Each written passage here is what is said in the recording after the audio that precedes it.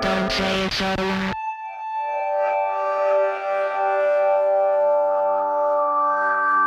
Don't say it's too hard.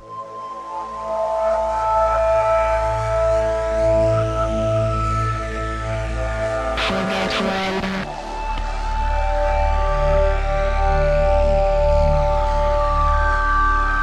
It's time to get